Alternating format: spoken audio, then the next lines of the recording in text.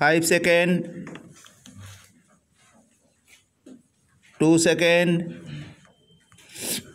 ready उपसभा अध्यक्ष महोदय, यह एक ऐसा विषय है जिसको लेकर प्रत्येक राजनीतिक दल चुनाव का समय आता है। तो अपने अपने चुनाव घोषणा पत्र में यह वायदा करते हैं कि अगर हमको सेवा करने का अवसर मिलेगा तो हम इस देश से गरीबी दूर कर देंगे, हर हाथ को काम देंगे।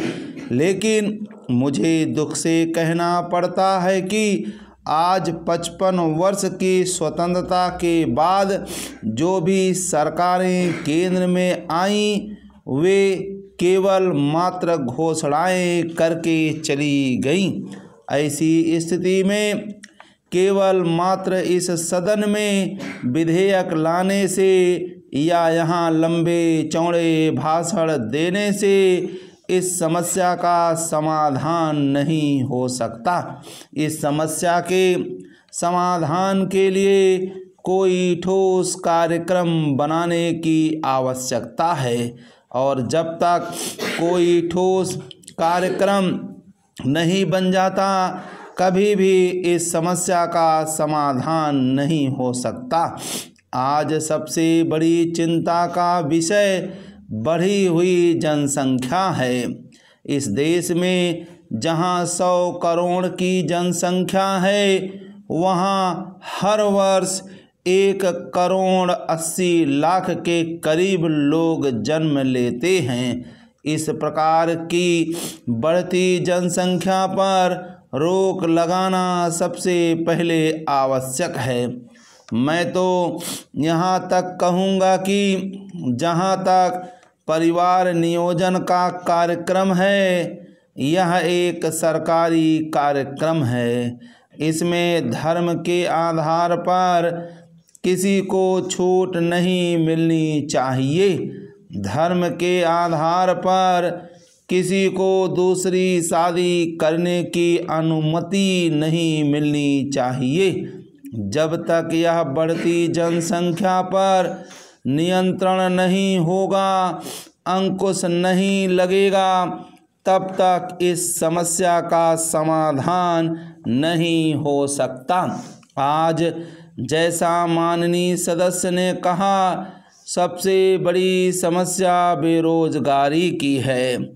इस समय लगभग चार करोड़ लोग इस देश में बेरोजगार हैं और वर्तमान सदी के शुरू में यह संख्या दस करोड़ हो गई है। यह ठीक है कि हर व्यक्ति को आज सरकारी नौकरी उपलब्ध करवाना कठिन ही नहीं, असंभव है। मैं अपने प्रांत का उदाहरण देना चाहूँगा कि कुल जनसंख्या हिमाचल प्रदेश की चौवन लाख है। आज उस जैसे प्रदेश में सरकारी कर्मचारियों की संख्या एक लाख साठ हज़ार है।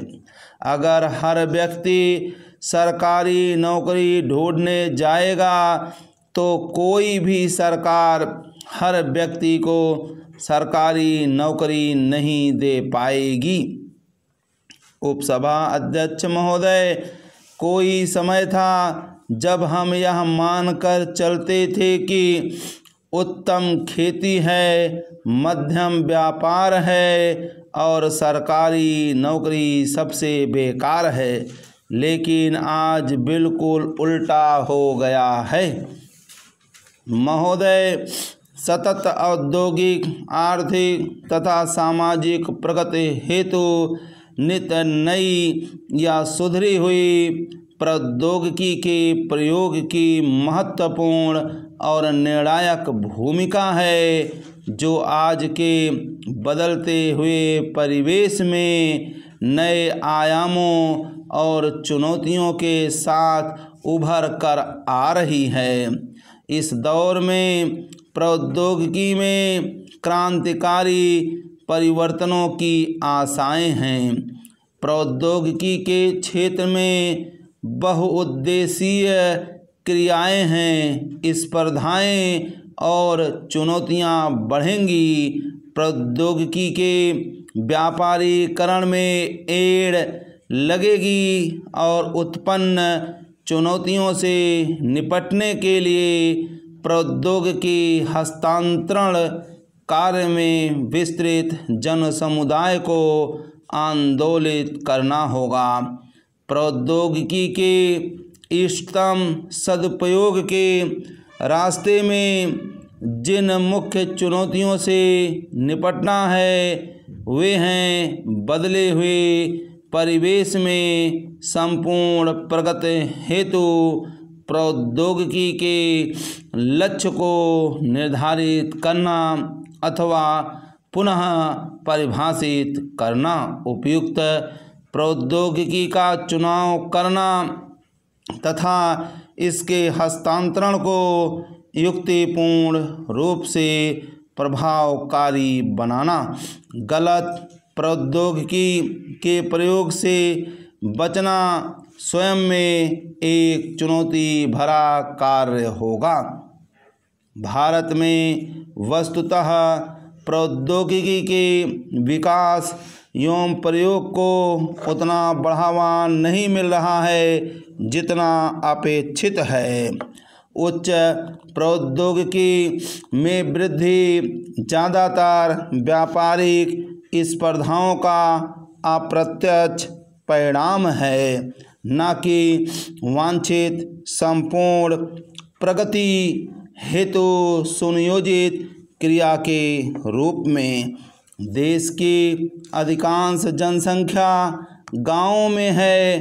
अतः देश के समान रूप से विकास हेतु चुनी हुई ग्रामोन्मुखी प्रौद्योगिकी का प्रयोग एक अनिवार्य आवश्यकता है, क्योंकि मात्र परंपरागत कृषि कार्यों के माध्यम से गाँवों की आर्थिक स्थिति को अपेक्षित स्तर तक उन्नत करना संभव न होगा।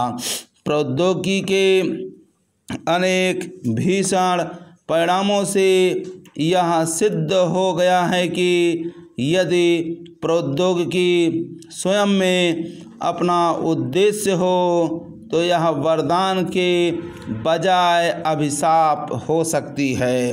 शैक्षिक अर्थ में प्रौद्योगिकी उस वैज्ञानिक, अभियांत्रिकी और प्रबंध संबंधी ज्ञान का समन्वित स्वरूप है, जिसके द्वारा किसी तकनीकी कार्य की धारणा और अभिकल्पन बन सके। जानकारी को विकासात्मक स्तर पर परिवर्तित किया जा सके।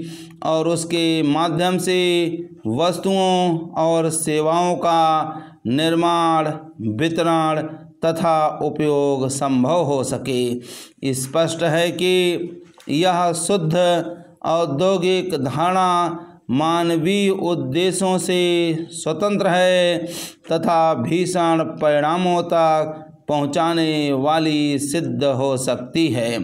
अतः परिभाषा में यह शर्त लगाना अनिवार्य है कि प्रौद्योगिकी के रूप में इस प्रकार की व्यवस्थित जानकारी और संयंत्र आदि निर्दिष्ट मानवीय उद्देश्यों की प्राप्ति में सहायक हो और विनाशकारी प्रभावों से मुक्त हो।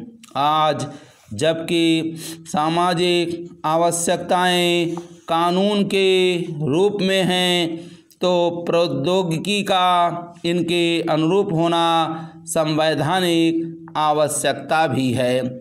शास्त्री जी ने वहाँ जो कुछ किया, वह भारत के लिए नया नहीं था।